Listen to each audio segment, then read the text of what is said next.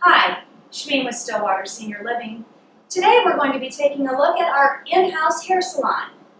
We do have a, the same hairstylist that comes in twice a week by appointment, and her name is Kathy.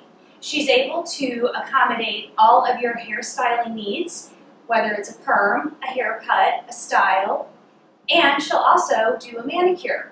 So please come by and check out our hair salon. Kathy would love to meet you. Visit us for more information at stillwaterseniorliving.com.